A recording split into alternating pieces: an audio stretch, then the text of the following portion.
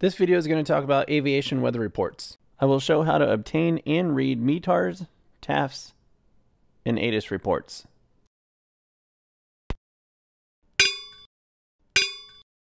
A METAR is a meteorological aviation report. It's a weather report that tells us what just happened. And this report serves a particular airport in the area surrounding it. METARs are updated hourly. If they're not updated hourly, it's inside that hour, then you get this, a speci or special report. Whenever there's a significant change, you'll get a special issuance. And one thing you'll notice in all of these aviation meteorological reports, the guts of them are identical to one another. It's just the stuff at the beginning and the items at the end that are different. And we'll talk about that. So let's talk about this METAR report, and then we'll break down what each section is. The first is the airport identifier, KMSP, or Minneapolis St. Paul. Followed by when the report was made. It was made on the 22nd at 1253 Zulu. Next is the wind. winds were 270 degrees at 4 knots. Next is the visibility, 8 statute miles. In the United States and some other places, visibility is in statute miles. Some places it will be in meters. And other times you'll see this visibility given in feet when associated with an RVR or runway visual range. Then we have sky condition. Broken 25,000. That means the lowest layer of clouds is broken at 25,000 feet, and that is in AGL or above ground level. Temperature and dew point 3 degrees Celsius. Dew point is 2 degrees. The altimeter setting is 3002. That's what you would set your barometric pressure in your altimeter to in the Kollsman window. And last of all, we have the remarks section. The first section is the type of sensor, AO1 or AO2. AO1 cannot detect the types of precipitation. AO2 can detect the difference between types of precipitation like snow or rain. Next we have sea level pressure. This would actually read 1017.0 or 1017.0. Last of all, we have temperature and dew point in tenths. Temperature is 3.3 degrees Celsius. The dew point is 2.2 degrees Celsius. If they were negative values, you would have a 1 here. And it's not that often that I use information in the remarks section. More often than not, it's nice to know information, not need to know information. You may see items like pressure falling rapidly, pressure rising rapidly, or precipitation started or ended at a certain time. Cool trick time. Take the surface temperature minus the dew point. Divide that answer by 2.5 multiply by 1000. That's the estimated ceiling. One thing we didn't cover was the intensity and type of weather. Aviation weather reports will display the intensity of the weather as light, moderate, or heavy. Next, we can have a description of the type of precipitation.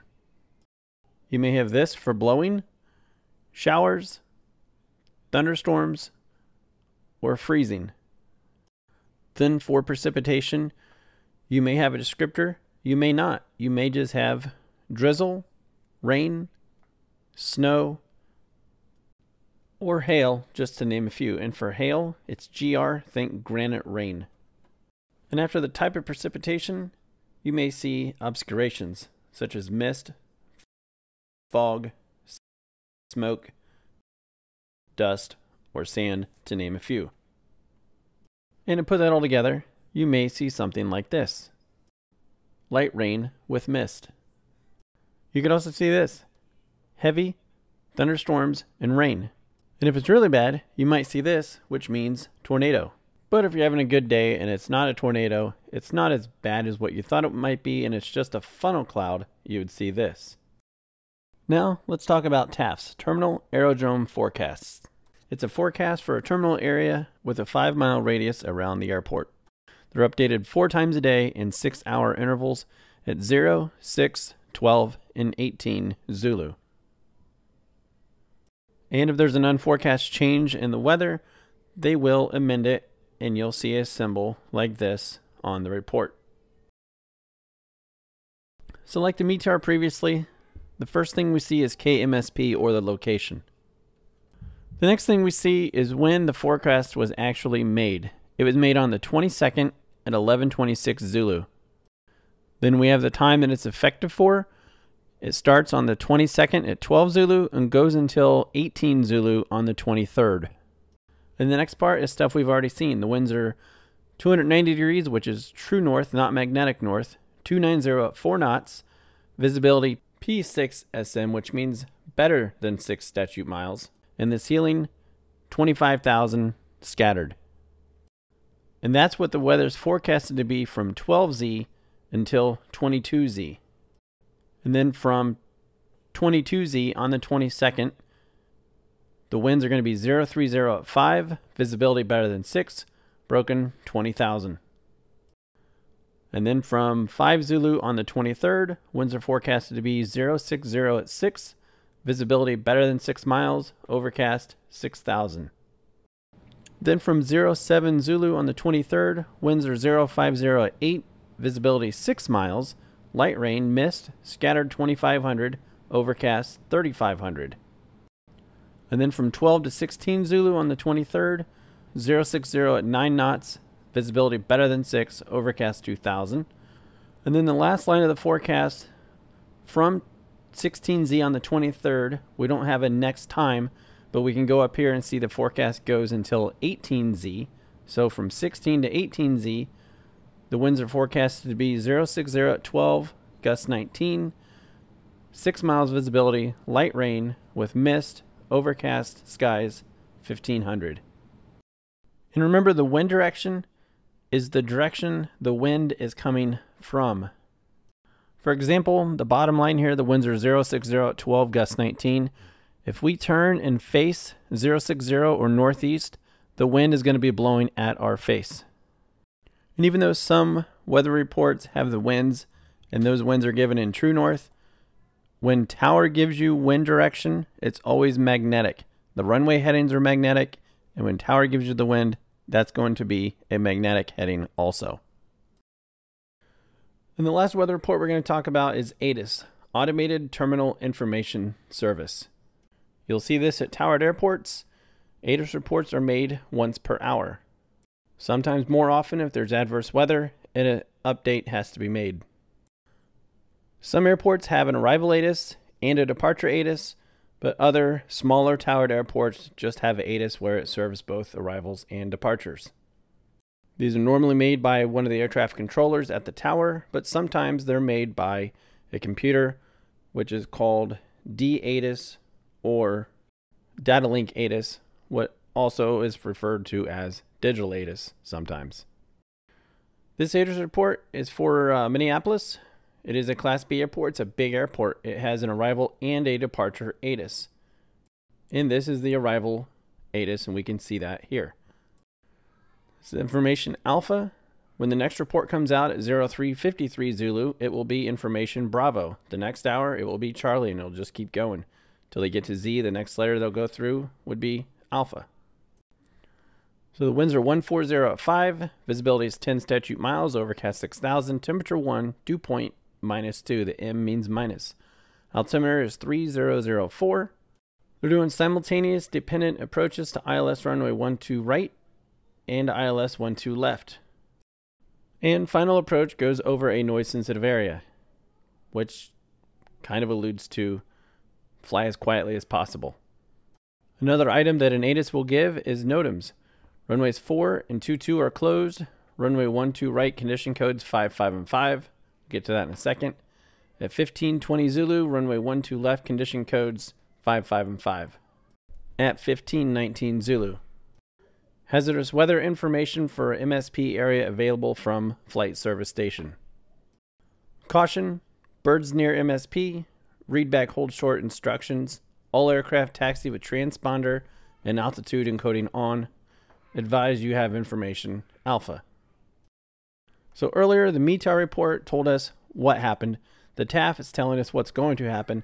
The ATIS told us what happened as far as weather is concerned, but also gives us information on landing runway and other information pertinent to the airport. So another thing we see is ILS runway 12 right approach in use and ILS 12 left approach in use. And we won't know which approach we're going to be assigned until we get over to approach control and they tell us. The ATIS also gives us information on airport NOTAMs. In this case, runway 4 and 22 is closed. We're also given a runway condition code of 5, 5, and 5 for runway 1, 2 right. What this means is the runway is divided into thirds and each section gets a braking report. 6 means it's a dry runway with good braking. 0 means it's a slick runway with essentially no braking effectiveness whatsoever. And in this case, runway 12 left would be identical to runway 12 right. Then we have a caution for birds near the airport, and then read back hold short instructions. So when we're talking to ground control and they give us a taxi instruction and say something like, taxi to runway 12 via Alpha, hold short of Bravo. You have to read back the instruction, but you also have to read back the hold short instruction to hold short of Bravo. In the very last line, all aircraft taxi with transponder and altitude encoding on. So this is our transponder. If the transponder is on, that's mode A or mode alpha. For altitude encoding, we need mode C. And for that, we have to go to the ALT or altitude selection for mode C for altitude encoding on. If you're wondering where you can find all these wonderful weather reports, just keep watching. I'm going to show you where you can find every single one of them. So there's a few places we can get an ATIS report. One is through the aircraft radio and we can find that frequency here on a sectional chart. You'll also find the ATIS frequency on an airport diagram. The ATIS frequency can also be found on the arrival. Note since this is an arrival, you have the ATIS, but it's the arrival ATIS. You can also get the ATIS ahead of time using the ATIS app. Currently this is only available in the App Store and it only works at U.S. airports with digital ATIS. But to get METARs and TAFs, I use flightplan.com. I do use this in the real world. There's other websites that you can get METARs and TAFs from. This is just the one I use. You do not need a login account to be able to use it. You just go to flightplan.com, fltplan.com, and click on weather. Then on the next page, type in the locations. You can type in multiple locations the four letter identifier, space, the next four letter identifier, and so on. And when you're done, press request. Then this page comes up, and since we used MSP, I only typed in MSP. Scroll down, and you can see METAR reports and terminal forecasts. And you can also press view plain text, and it will write everything out, and there will not be any abbreviations. And last of all, this page on Wikipedia is very useful. Most of my videos, I use official sources from the FAA. I do not use Wikipedia. However, this page on Wikipedia has pretty much every abbreviation you can think of or see in a METAR or TAF. But this is one of the best resources I've found anywhere on the internet for decoding a METAR or TAF. And I will put a link in the description. One last little bit of advice for METARs, TAFs, ATIS. Practice listening to ATIS reports. Practice writing them down if you need to. As far as METARs and TAFs, practice reading them. It's like anything. It's an acquired skill. You just have to practice it. The more you do it, the easier it becomes. That's all I have. Thank you for watching. And as always, if you have questions, do not hesitate to ask.